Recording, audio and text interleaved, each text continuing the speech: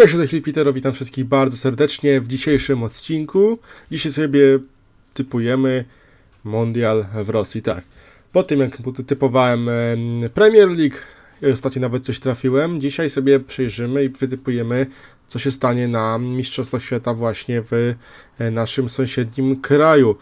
Oczywiście rok 2018, kolejny Mundial, Niemcy bronią tytułu, ale Rosja, Rosja, która jest w kryzysie, e, jest gospodarzem, no i ma przed sobą naprawdę spore wyzwanie, bo duży kraj pewnie liczy na jakiś sukces, liczy na jakieś dobre mecze, ale sytuacja jest bardzo podobna jak z reprezentacją Polski w roku 2012, gdzie ta kadra jednak nie jest w takiej formie, na jakiej, e, w jakiej mogłaby być, chociaż wiadomo, turniej rządzi się swoimi prawami.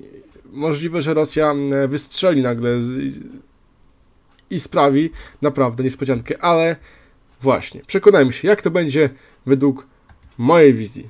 Po pierwsze, mamy oczywiście tutaj program.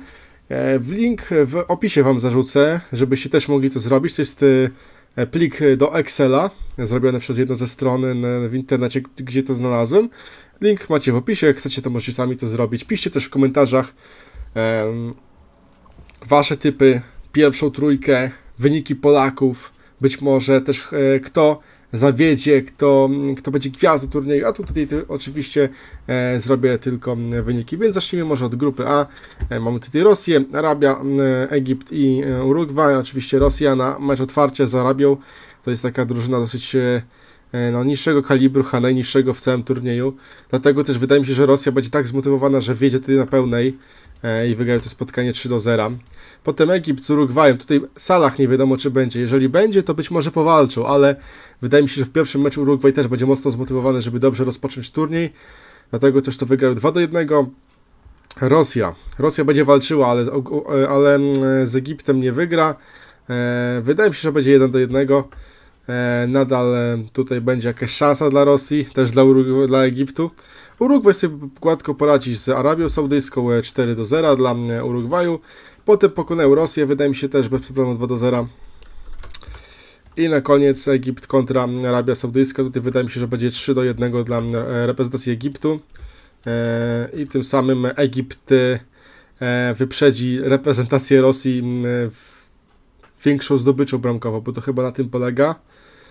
Nie, nie na bilansie, chociaż bilans jest ten sam, ale wiadomo, Egipt przyjął więcej bramek i tutaj Rosja zostanie tutaj trochę taka rozgoryczona po tym, co się stało. Z pierwszego miejsca wyjdzie Urugwaj, z drugiego Egipt. Grupa B, Portugalia, Hiszpania, Maroko, Maroko i Iran. Eee, no, ciekawa, ciekawa grupa, powiem Wam szczerze. Eee, wiadomo, że na papierze największy faworytem jest tutaj Portugalia oraz Hiszpania, ale, ale, ale, właśnie.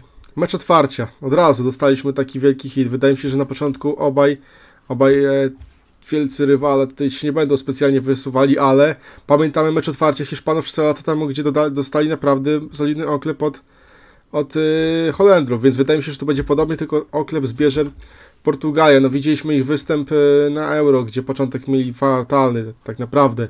Trzy remisy w grupie i wygrali potem Euro. No widzicie, no, trzeba mieć czasem trochę szczęścia, ale tutaj Portugalia już zostanie. Maroko kontra Iran. Maroko naprawdę solidna reprezentacja. Wydaje mi się, że wygrali to spotkanie 1 do 0. Iran też nie wolno tutaj e, Iranu e, jakoś deprecjonować. Też są dobrą drużyną. Nieprzypadkowo znaleźli się na, na mundialu. Portugalia wygra, wygra z Maroko 2-1. Iran przegra e, z Hiszpanią 1 do 3. No, Iran pamiętajmy, naprawdę mają e, indywidualności. Sardar Azmun może już e, nie aż tak e, popularny towar na rynku transferowym jak rok, dwa lata temu, ale nadal dobry piłkarz. Iran, Portugalia to wydaje mi się, że będzie 1-2. No i Hiszpania spokojnie sobie poradzi z Marokiem 3 do 0. Tym samym e, Hiszpania przed Portugalią wyjdzie z grupy. Grupa C, Francja, Australia, Peru i Dania. Więc ogólnie mm, bardzo też fajna grupa, ale wydaje mi się, że dwóch wyraźnych faworytów mamy. E, Francję i Danię. E, dlatego też Francja w pierwszym meczu z Australią wygra 2 do 0. E, Peru przegra 0, 0 do 3 z Danią. Tutaj będzie Francja wygra z Peru 3 do 1. Nie, nie do 3 do 11.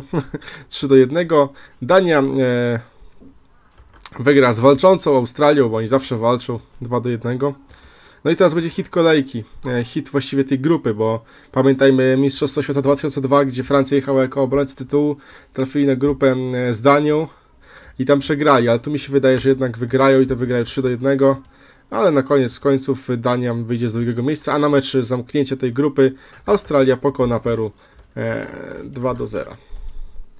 I Australia na koniec wywalczy sobie ten sam honor. Wychodzą Francja oraz Dania. Grupa D Argentyna, Islandia, Chorwacja, Nigeria. No, też bardzo ciekawa grupa. Islandia pokazała na Euro, że potrafi, ale wydaje mi się, że to będzie już e, trochę inna Islandia niż dwa lata temu. Dlatego też mecz otwarcia przegrają e, z Argentyną 2 do 0. 0 e, do 2 tak naprawdę. Chociaż Argentyna też nie jest jakoś mega mocna. Pamiętajmy, że oni ledwo awansowali do mundialu w, w, ostatniej chwili. Chorwacja z Nigerią. No mecz otwarcia spokojnie, wyjdą 1 do 0. Wydaje mi się, nie będą specjalnie szarżowali. Mają naprawdę świetny zespół. E, Argentyna przegra z Chorwacją, tak mi się wydaje. Staję na Chorwację, że oni będą mocniejsi. Ja wiem, że Argentyna ma naprawdę świetny atak. E, no, jeden H z najlepszych w ogóle na całym świecie, jeżeli popatrzymy na papier. Mają Aguero, Messiego, Di Maria, kilku innych zawodników. Iguaina, Icardi przecież nie jedzie, Dybała jeszcze jest. Ale mimo wszystko, jako re reprezentacja Chorwacja wydaje się być mocniejsza. Nigeria, Islandia, tu wydaje mi się, że Islandia nie do końca będzie wiedziała, co się dzieje, ale zremisuje 1 do 1. E, Nigeria, Argentyna. No, pamiętamy też, że oni grali między sobą e, w, na mundialu ostatnim. Tam też było dużo emocji i wydaje mi się, że tu też będzie dużo emocji, ale Argentyna ostatecznie wygra 2-1 i w meczu kończącym te rozgrywki e, Islandia Islandia tak się zastanawiam, czy to będzie 1-1, czy może 0-1 Chorwacja będzie grała swój spokojny futbol i tę grupę wygra. grupa E Brazylia, Szwajcaria, Kostaryka i Serbia. Więc na mecz otwarcia tej grupy też dostajemy chyba mecz na szczycie. Brazylia, Szwajcaria. E, wydaje mi się, że Brazylia będzie chciała bardzo mocno rozpocząć, dlatego też wygrają ten mecz 3 do 1.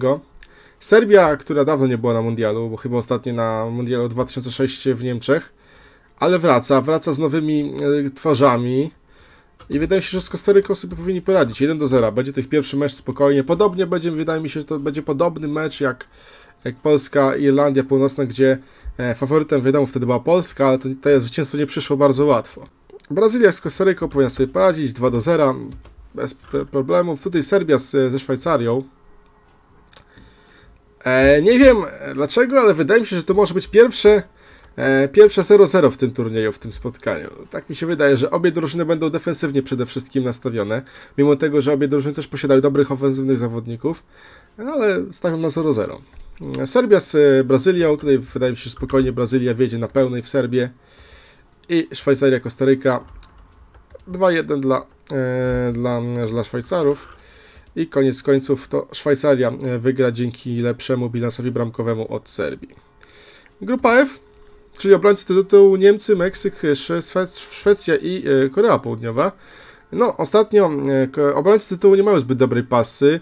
E, mistrzowie z roku 2006 Włosi w następnym e, mundialu odpadli w grupie. Podobnie to było ostatnio z Hiszpanami. W roku 2002 obrońcy tytułu Francja odpadła, no jedynie w 2006 właśnie Brazylijczycy e, przeszli dalej, chociaż też nie byli jakoś wybitni w swoich osiągnięciach. Ale tutaj wydaje mi się, że Niemcy tutaj nie odpadną, no bez przesady. 2 do 0 z Meksykiem na otwarcie. 1 e, do 0 wygra Szwecja na otwarcie, potem będzie tej, takie duże starcie w grupie, ale Niemcy ostatecznie wygrają 3 do 1 bez porażki. Wydaje mi się, że opuszczą tę grupę. Korea Południowa 1-1, spore emocje z Meksykiem. Potem, e, o, Korea Południowa, Niemcy, 3-0 dla Niemców. No i mecz na koniec grupy. Meksyk czy Szwecja, o wyjście z grupy tak naprawdę mecz tak jestem ciekawy, bo Meksyk na Mistrzostwach Świata zawsze jest y, dobrą drużyną, a Szwecja jest dopiero taką wschodzącą ekipą, która po zlatanie buduje nową markę. Dlatego też wydaje mi się, że tutaj e, Meksyk e, wygra to spotkanie 2 do 1 i ostatecznie to oni wyjdą z grupy jako drugie miejsce. E, potem Belgia, Panama, Tunezja i Anglia, czyli dwóch wyraźnych faworytów. Od razu zaznaczę sobie tutaj 3 do 0 dla, dla Belgii z Panamą. Anglia wygra 1 do 0 też spokojnie z Tunezją. Anglia nigdy nie była jakoś wybitnie e, napalona w grupie, zawsze mieli jakieś problemy, wydaje mi się, że to będzie podobnie. E, Belgia z Tunezją wygra sobie 2 do 1, też tam Tunezja powalczy, Tunezja ma dobrych zawodników też. Tutaj Panama najbardziej odstaje, co do tego nie ma dwóch zdań, dlatego też Anglia tutaj już wygra 2 do 0 na spokojnie. Anglia, Belgia, to wydaje mi się, że to będzie 2-0 dla Belgii, nie 22, tylko 2-0. I w meczu kończącym e, Tunezja wygra 1 do 0 z Panamą i tym samym oni wygrają honor, a z pierwszego miejsca wyjdzie Belgia. No i grupa, aha, grupa Polska. E, Polska, Senegal, Kolumbia, Japonia. No i od początku. W pierwszym meczu wydaje mi się, że, że zremisujemy. Potem Kolumbia pokona Japonię. Potem my z Kolumbią, niestety, ale poniesiemy porażkę. Wielu z Was się może nie, nie zgadzać, ale według mnie tak to będzie. Japonia z Senegalem e, e, przegra. To będzie 2 do 0 dla Senegalu. Potem e, tak samo będzie taki sam, e, chociaż ja nie wiem, czy Polacy wytrzymają e, bez straty bramki ten mecz. Dlatego też postawię 3 do 1 dla Polski. E, I mecz ostatni w tej grupie Senegal-Kolumbia, który wydaje mi się, że wygra reprezentacja Kolumbii e, 1 do 0 i tym samym e, Polska cudem przejdzie dalej, e, bo będzie miała więcej bramek strzelonych. E, no, tak mi się wydaje, że będzie coś takiego. Pamiętajmy, że nie ma glika. Pamiętajmy, że nie ma glika, też nie ma co stawiać, że będziemy tutaj jakieś mieli czyste konta, że, że wygramy tutaj grupę. Nie, nie, spokojnie. Wyjście z grupy już będzie sukcesem, dlatego tak obstawiłem. No i mamy fazę pucharową. Urugwaj, Portugalia, ciekawe starcie. Francja, Argentyna też wielki hit. Brazylia, Meksyk, Belgia, Polska, Hiszpania, Egipt, Chorwacja, Dania też bardzo wyrównane starcie. Niemcy, Szwajcaria i Kolumbia, Anglia. E, czyli stawiamy na, na, na, na, na, no właśnie, na kogo stawiamy? Tutaj tak o. Urugwaj, Portugalia. Wydaje mi się, że Urugwaj w tym, w tym roku będzie podwójnie zmotywowany, bo to będzie ostatni mundial dla e, Cavaniego i dla Suareza, e, no chyba, że oni przedłużą kariery swoje bardzo długo. Dlatego też będą naprawdę na maksa zmotywowani.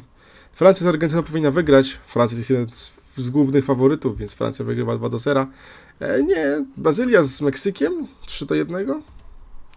Belgia z Polską, no niestety, ale tutaj postawiłbym na 1 do 0. Mimo tego, że Polska będzie walczyła dzielnie, to Belgia wygra. Hiszpania, Egipt 3 e, do 1 po bramce Salaha tutaj e, Hiszpania. Chorwacja, Dania, tutaj tak się zastanawiam, bo naprawdę dwa bardzo wyrównane zespoły. I kogo, kogo, kunsz tutaj wygrać? To będzie Eriksen ze swoją ekipą, czy być może Chorwacja, która ma naprawdę bardzo mocną drużynę, ale jednak chyba Chorwacja po zaciętym meczu takie 3-2 to bym chętnie obejrzał. No i Niemcy ze Szwajcarią poradzą sobie też gładko 2 do 0 i Kolumbia, Anglia, czy to jest koniec e, mundialu dla Kolumbii, dla, dla, dla Kolumbii, czy dla Anglii? No i to jest pytanie. A postawię, że tutaj Anglia zaskoczy wszystkich i przejdzie dalej. I spotkają się Niemcy z Anglią po raz kolejny w swojej, e, w swojej historii. Urugwaj z Francją, wydaje mi się, że mm, tutaj już nie wygra, tu już się skończy ich byt, dlatego też Francja wygra 3 do 1. Tutaj z kolei Brazylia pokona Belgię 2 do 1. Hiszpania Teraz jest pytanie, czy Hiszpania będzie iść jak e, za ciosem mocno e, po odebraniem tytułu Mistrzu Świata, czy być może gdzieś się potknął, bo wiemy, że też e, Lotepegi to jest niedoświadczony trener na tej arenie. Mają wiele nowych nazwisk, być może one nie wytrzymają presji. To już nie jest era, gdzie na każdej pozycji była gwiazda światowa, bo teraz na przykład gra na ataku Rodrigo, który też na takim turnieju nigdy nie był. Nie wiem, jak to będzie na innych pozycjach, ale też mi się wydaje, że tutaj Tutaj może być różnie, ale koniec końców postawię 2 do 1 dla Hiszpanii. No i Niemcy, Anglia. No sensacji raczej chyba nie przewidujemy, nie? 3 do 0 dla Niemców, Anglicy już e, nie wytrzymały. No i mamy naprawdę dwa absolutne klasyki. Francja, e, Francja, Brazylia i Hiszpania, Niemcy. No chyba największe klasyki. No jeżeli takie by były półfinały, to by było bardzo fajnie. E, świetne starcie na papierze ogromny prestiż. E, wydaje mi się, że tutaj jednak Francja e, nie podała wyzwaniom, przegra z Brazylią, a Niemcy pokonają Hiszpanię 3-1. No i dostaniemy kolejne dwa klasyki, tym razem Brazylia, Niemcy, rewanż za półfinał 7-1 i Francja, Hiszpania. Wydaje mi się, że Francuzi wygrają mecz trzecie miejsce 2 0 i zajmą trzecie miejsce w turnieju a Brazylia zrewanżuje się prawidłowo na Niemcach i wygrają 2 do 1. Brazylia będzie mistrzem świata, Niemcy będą miały srebrny medal. No i potem Francja brązowy, Hiszpania jako ten e, przegrany, bez medalu. No i tak to będzie wyglądało. Pamiętajcie, że też zawsze w mundialach mamy jakieś sensacje, także nawet jeżeli tutaj na zdrowy rozsądek wskazuje, że ta drużyna powinna wygrać, ta drużyna powinna wygrać, to czasami na mundialu jest tak, że jednak e, jest odwrotnie, że ta drużyna zawodzi i przegrywa. No, Często jest tak, że faworyci odpadają w grupie i potem e, kompletnie to się może różnić, ale moja wizja jest taka, ja- jaka jest wasza, piszcie w komentarzach. Lajkujcie, subskrybujcie, no i cóż, zapraszam na, na odcinek, kiedy będziemy to sprawdzali, porównywali do tego, co się zdarzyło w rzeczywistości. Jeszcze raz, lajkujcie, subskryb- subskrybujcie, napis out.